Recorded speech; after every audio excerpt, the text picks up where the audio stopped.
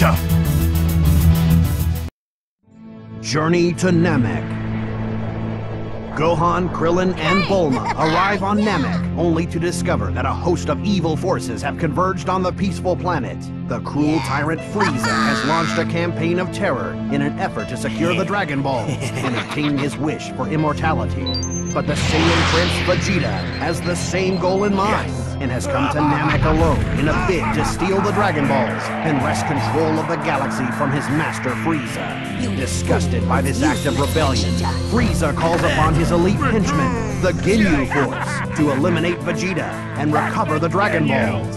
In the face of this Ginyu onslaught, the Z-Team's only chance for survival is to join forces with the evil Vegeta.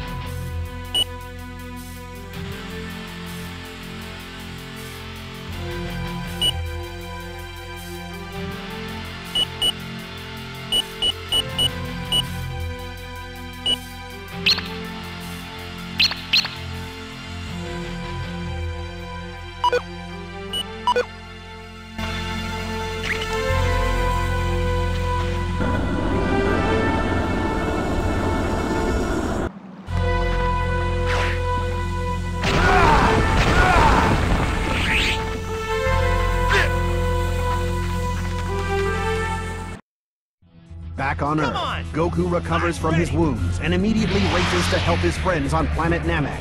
Meanwhile, Vegeta and the Z-Team have succeeded in bringing the seven magic Dragon Balls together, but their plans to summon the Namekian dragon Porunga are cut short by the arrival of the Ginyu Force. The battle begins as Guldo, the weakest member of the Ginyu Force, steps into the fray. Through their combined efforts, Krillin, Gohan, and Vegeta manage to win the first bout, but the fight is far from over. An even more powerful Ginyu is waiting to take Guldo's place. Recoome. You're playing with the big boys now. Shut up! Frieza has summoned the Ginyu Force to fight you.